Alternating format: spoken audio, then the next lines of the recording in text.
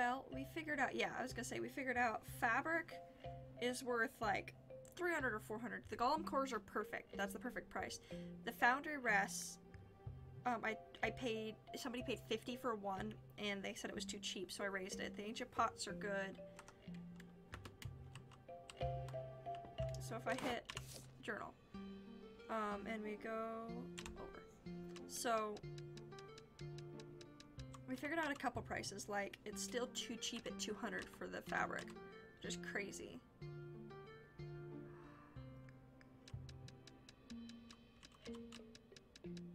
This is 250. I don't know. Anyways, Foundry Rest, everything, these are too cheap. I'm selling the ancient pots and the Foundry Rest for too cheap. Golem Core's 100 is perfect, and I haven't really tried much else. And as you can see, my inventory is kind of full at this point.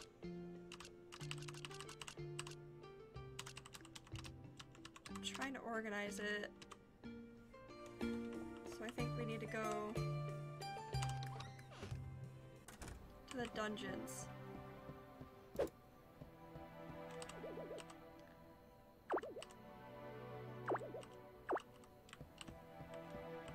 So merchants go into the dungeons and try and figure out where everything is. And try to get good materials. So, so far so good. Let's try day two of the dungeon. We uh, actually are making pretty good money at the at this point.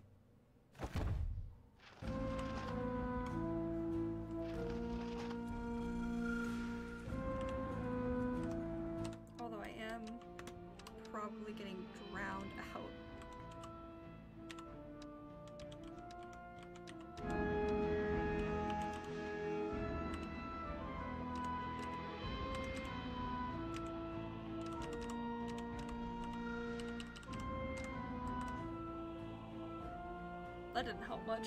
One second. See if that fix that should fix it. It was just really loud.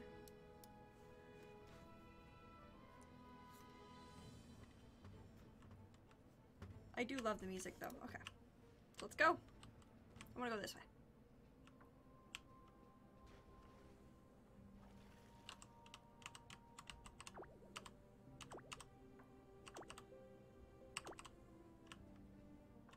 Tools keep disappearing. Nice to know. I am facing the wrong way for this.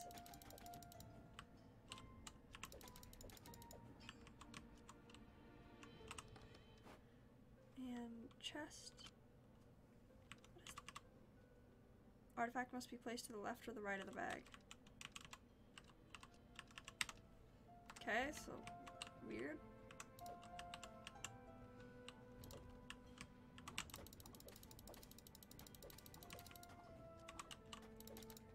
Can't leave until I kill this. And I want to go back to that room and see if I'm right, and that's a healing room. And I now have enough stuff that I can go back. Let's see if this room heals. Like I think it does.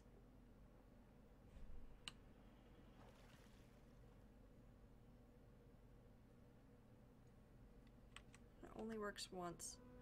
I'll try one more room.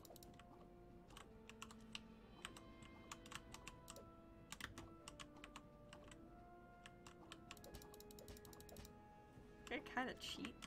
Sneak in on the corner so I don't actually get hit.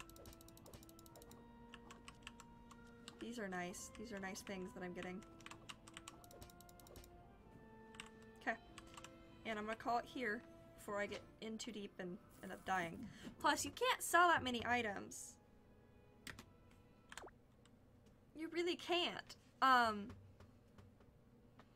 like, I can sell items that I know how much they are in bulk, but I don't feel comfortable selling other items in bulk yet because I still haven't figured out, like,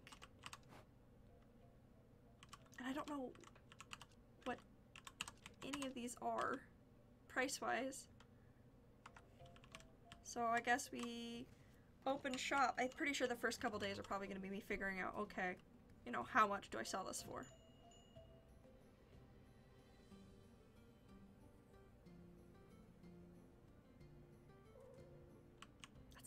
Too expensive. These teeth things are not worth very much. Let's go five, because I like even numbers.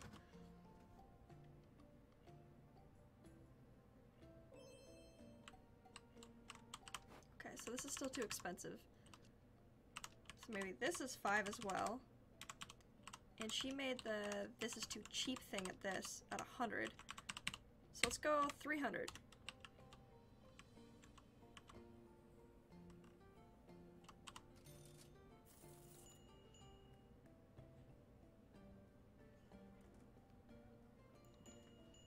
Fabric still too cheap at 400? No, it's too expensive now. But that teeth thing is now good. Okay. So we're just balancing, trying to figure out what everything is. And that's perfect for jellies. Fantastic. So, we now have jelly prices figured out, which means I can shove all my jellies here. We now have teeth thing prices figured out, which means I can shove all my teeth things here. It's not much, but I can get rid of them out of my inventory, basically, is where I'm going. 300? Still too expensive. So is it, is it 250? Because 200 was too cheap. Wait, wait, wait, wait. Let's change this price real quick to 250 just because I'm terrified. Because I'd rather sell it a little cheap and figure that out. I know, and tieflings are the perfect price. That's still too expensive at 250. Okay. Do that, and then we'll sell Ooh, we can't sell bulk though. We're not supposed to sell bulk, otherwise people won't pay as much.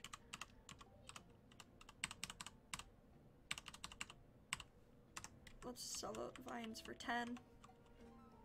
Yay! More, more jelly sold.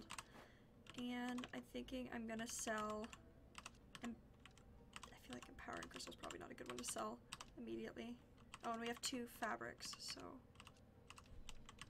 I want to sell one of these water spheres for 200 to see if that works. We almost have enough to buy a to have a new shop come in. Too expensive at 10. Alright.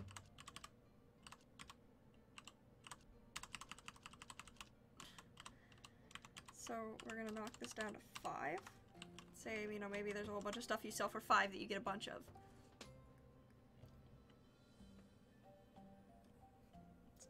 Good price?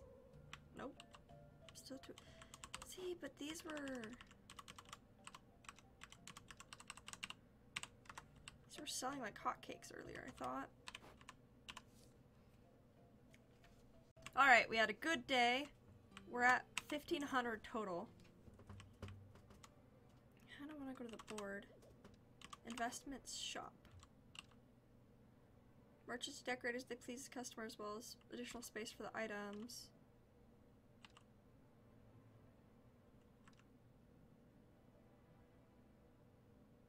Will entice customers to an extra 10% when paying. These are really expensive. Alright, so we're not going to go with that. However, if we invest in the town, a forge to be reckoned with. We now have a blacksmith.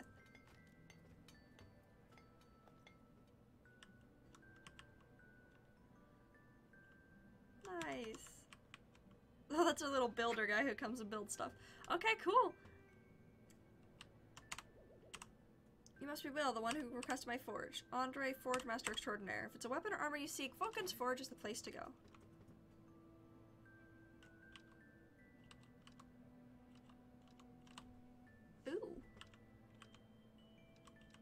So we need to save up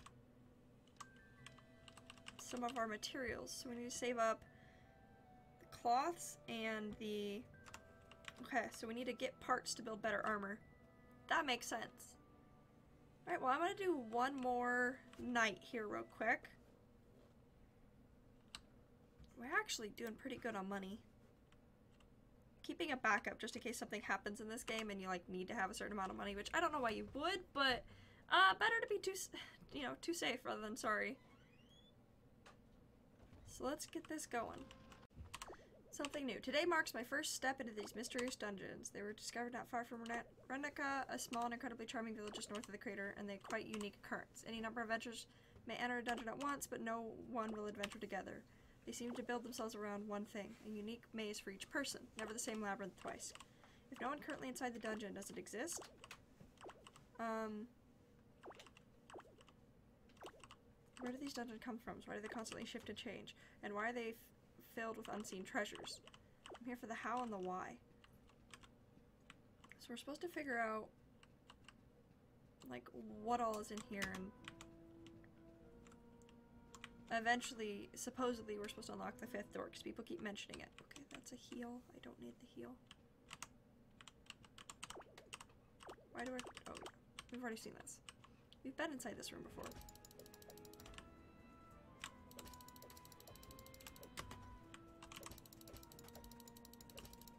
May need this room soon, because ouchies. Those guys hurt.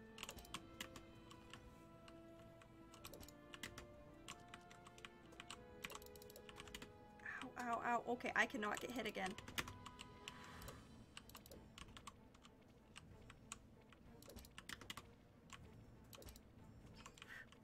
We made it. We made it. We made it. We made it. Um, this has to be on the far side. So weird that they set these specifications for stuff. I mean, oops, wrong thing. There we go. But I could have done that actually. I know we've gotten enough stuff to make us happy. But I want to heal. And keep going. Oh, boss room!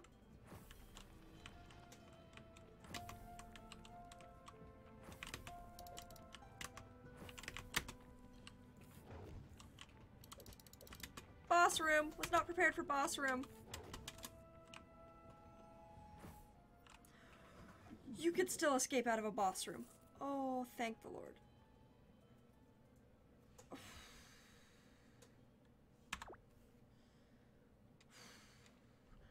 That would have been really bad if we couldn't. Um, okay, so that's a boss room.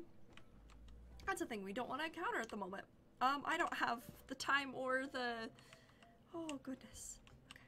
Let's go open the shop real quick. Come in and buy my wares so that I can afford to do things.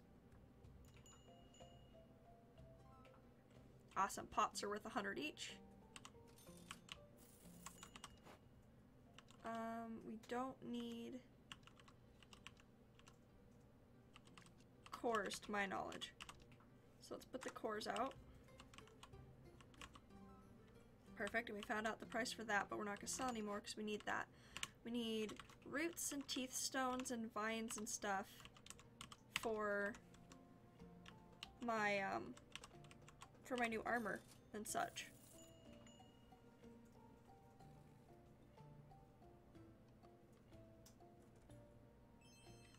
Okay, so that's way too cheap. Got it. So these need to be more expensive than 30. Let's try 100.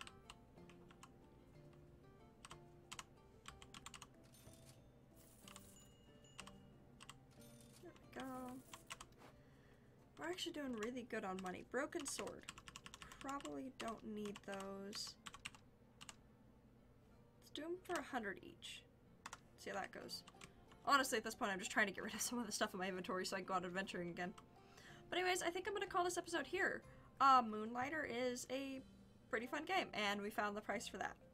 Alright, so thanks everyone for tuning in. If you enjoyed, please leave a like and comment down below, and I will see you all next time. This is a really fun game. I can see myself playing this quite a bit.